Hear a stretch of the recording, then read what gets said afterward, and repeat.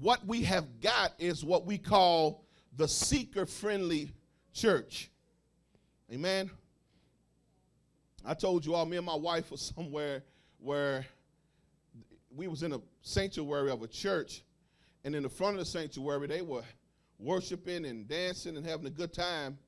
And in the back of the sanctuary, not downstairs, not in the next room, in the back, there was a coffee bar and people were playing and you could eat food and snacks and all that was inside the sanctuary. And we were trying to figure out why was that necessary? And what I began to realize is something happened in the early 90s. I want y'all to get this that created what we now know as the megachurch model. Amen. What had happened in the early 90s was there was certain pastors, but the, the, the, the number one pastor that started that, that kind of kicked this off or was or well known for it is called Rick Warren. Amen. He wrote The Purpose Driven Life, and that sounds great. Amen. That's, ain't that good? You purpose driven in life. Amen. But that's not what the book is really all about. Amen. Sold 30 million copies. And so what happened is people start to, it, it, was, it was what we call, it was part of the church growth movement. Amen. In other words, the, the, the, the purpose driven life was all about uh, a growing church putting numbers in the church. Amen. That's why we see, that's why you see these mega churches now, because they a lot of them have copied the church, the, the purpose-driven life model, which is a corporate America marketing plan. Say amen. In other words, corporate in, in, in, corporate America, if you well, if you own the business, you cater to your clientele. Say amen. The better you cater to them, the better your business becomes. Come on, y'all.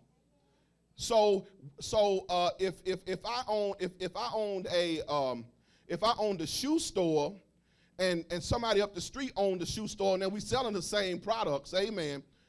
Then in order for me to get more customers, I'm gonna have to go out of my way to be more friendly and give the people more. So when you come in my shoe store, I may have two people waiting on you, pick you up, put you in a seat, rub your feet, say man, to make sure you enjoy the experience, because the experience keeps cause you to come back. Say amen. Not you may not have ne- you might not necessarily uh, uh, uh, uh, uh um, like my shoes or even need them, but you love the experience. Say amen. So this model of corporate America building church has has has given a boom or a spike in people going to church. We got more people going to church, but we got less people converted.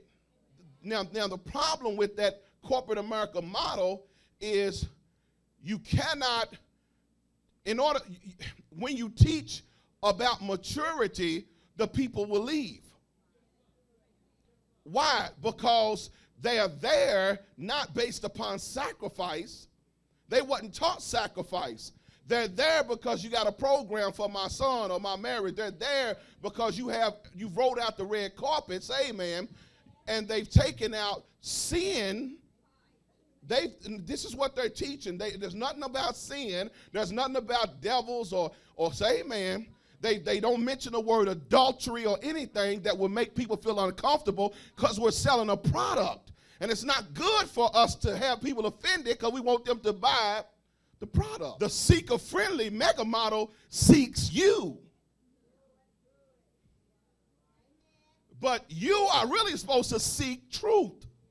But that church moves in the community and seeks you through a sensual or carnalness by becoming more like a circus to entertain folk than to teach. Y'all ain't hearing hear what I'm saying. So that's why when some of you all who are becoming mature start talking about Christ, and you hear people starting to talk about Christ, it's like an infantile, little young, like like daycare style understanding. And you're trying to figure out, and they look at you like you almost crazy because you actually talking about living the book. While they just went the Golden Corral. They, they don't deal with overcoming sin. Say amen. Instead of dealing with sin or dealing with your dirty life, focus on your purpose. That's why we got so many spiritual whores. They didn't deal with getting over whoremongering, they just focused on preaching. When the Holy Spirit leads you to a season of purging, dealing with you to get you righteous, and that word sanctification, that word holiness becomes a part of your life, whereby then when you get up to do your ministry or fulfill your purpose, you don't bring shame. Oh, y'all want to talk about this. So there's no backside of the desert in these churches. There's no, there's no go through nothing. It's all about soon as you come in, get busy with something. Come on, get in something. Come on, let's Let's get you in your purpose because we got 100 programs. You ought to find something for, for somebody to do. You got 100 times. The church never closed. Say amen. So that's why I even said, I was telling somebody, I said, man, look, I ain't doing all these programs. I'm tired of that stuff. Trying to fulfill all these desires. Got to get people to do something on Friday so they don't fornicate or fall out, go to the club. Look, man, go on to the club. Have me up in here sweating trying to keep you living for God. We got all these programs, spending up money and my family, wasting time with y'all. Could be home because I got to keep you in an atmosphere where you don't go sin. Come on, man. That's all those programs are. It's daycares. And, and people be bragging, oh, this church got programs for everything. Well, that's what's wrong. Man, we from the old school. We don't need no program. I live saved alone. I learned I don't go out on Friday and Saturday. I'm not out after dark. I don't need to work. I don't need to be in church to do this. We live right. That's my kids. We live right just because it's right. Y'all know what's wrong with Christians. They got to have activity because they come up on this purpose driven uh, entertainment model that doesn't tell you to surrender your life. Say, man. So when you surrender your life, you surrender your sensual desires or your or the lust of the flesh that drives you to do things. Once you surrender that, you find that hey, I can sit still. Me and Jesus. You learn to go out and eat by yourself. You learn, I don't need all these friends, or people on the phone, or people calling me. Okay, the purpose driven churches, they have changed Christianity into church growth focus only. And this is the, the herd mentality or the corral. Instead of individually dealing with people, there is a corral. Like Jesus deals with us individually. Say amen. It's a personal, I, I, that is one of the mysteries of Christ to me. How there are billions of people, but you can deal with each person individually. He wants a personal relationship. Well, these churches are not built upon a personal relationship with Christ, they're built upon allegiance to church. So now y'all should be getting a clue where this really came from. And I'll show you. I'll get down there. Y'all there? They sacrifice spirituality for numbers and through corporate marketing and non offensive teaching. This is the atmosphere of the majority of the body of Christ. Church salvation without a holy experience with Christ. Y'all got that? That means church without an experience with Christ. They are trained at the art of spectating, but never engaging spectating churches are, are, are booming while Bible teaching churches are struggling. Bible teaching churches teach discipleship, which is to engage. Jesus taught his disciples whenever people met Christ, he taught them to engage the culture with the word. Engage, be, become active in overcoming the enemy, become active in binding sin. Come on, y'all. Become active in seeking God for His Spirit. Become active in living right. You have to engage. What this style of ministry does, uh, uh, doesn't teach people to engage, it teaches them to spectate. Now, church is attractive because the, the standard is so down here that I can come in with my ungenerated self, my unconverted mentality, my unrepentant heart, say amen, and get the spirituality without the true lifestyle. C- come on, y'all. So, what we are producing is sensual Christians. Sensuality, whereby, listen, I get the high of church or religion, come on, but I still live the way I was living before. Are y'all there? So that's why it's hard to deal with sensual Christians because they'll put their titties in your face and, and talk about how good God is.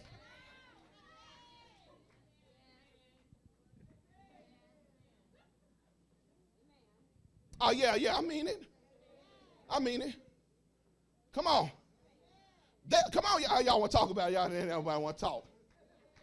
They Christians, but putting, getting tattoos on their on their upper thighs and stuff.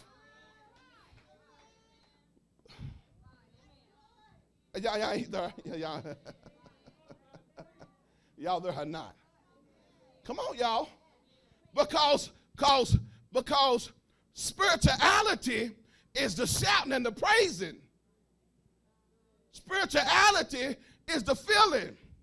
Spirituality is the knowledge.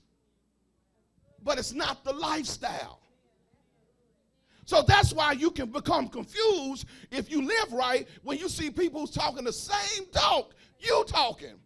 And you trying to figure out why do they get to do all of this stuff? Why this is why is it okay? And I'm over here convicted all the time. Y'all see, you know, man, I want to talk now. Are y'all there? Come on, y'all there? This is how homosexuals are singing and shouting with no conviction. This is how preachers are having sex with them with no conviction, wearing muscle shirts and stuff. Why? Because they're preaching a fleshly gospel. I had to write a blog about that. Ain't no sexy holiness. Say amen. Y'all want to talk or not talk? So you go now, come on now. So you go to church and these bishops got their hair slicked back better than women. Ten rings on. Come on now. I don't have no I don't have no problem with looking nice, but I see something where the men in these churches are effeminate. They're soft and and almost flirtatious. Marriages are divorcing. Nobody's talking about that. Come on. It's sensual Christianity. Does anybody want to talk or not talk? Say amen.